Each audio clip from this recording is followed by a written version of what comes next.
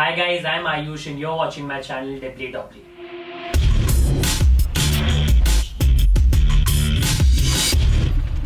Time to suggest some of the best players that you can look to pick for your Dream 11 team for the Sri Lanka vs Australia game to be played at the Oval.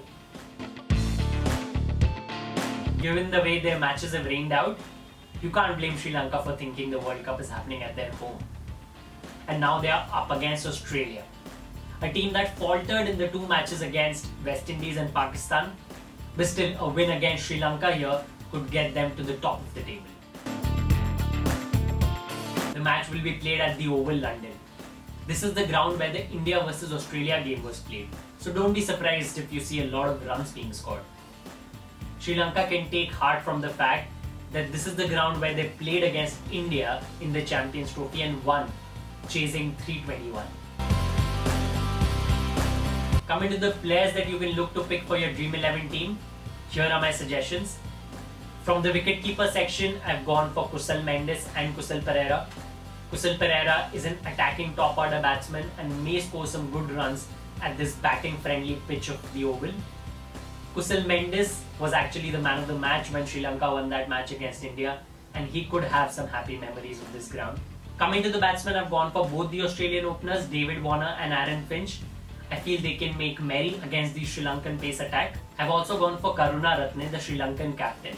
He's a technically sound batsman and I feel he should be able to survive the initial attack of Stark and Cummins. Coming to the all-rounders, I've gone for one best from each team, Thisara Perera and Glenn Maxwell. Both are attacking batsmen and should be able to score good runs at the end of the innings. Coming to the bowlers, I've gone for Stark and Cummins, both from Australia. Their pace can really rattle the Sri Lankan batsmen. And then I've gone for another pacer from Australia, Kane Richardson, but you could also choose someone like Nathan Coulter-Nile or Jason Behrendorff in the same price.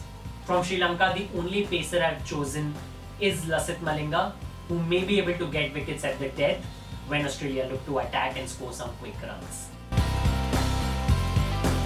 As the captain of the team, I suggest you go for one of the Australian openers, Finch or Warner.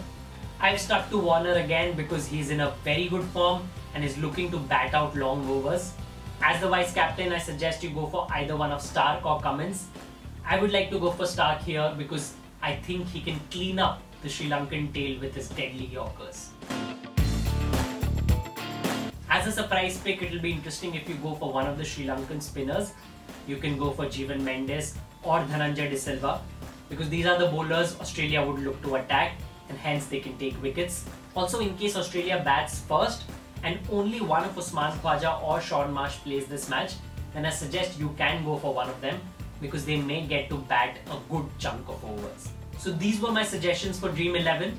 No doubt Australia's favourites going into this match, but Sri Lanka has some happy memories from the Champions Trophy. Let's see if they can create one again today. That's it from me for the Dream 11 suggestions. If you like my picks, please follow my channel, Dibbly Dobbly. Thanks a lot.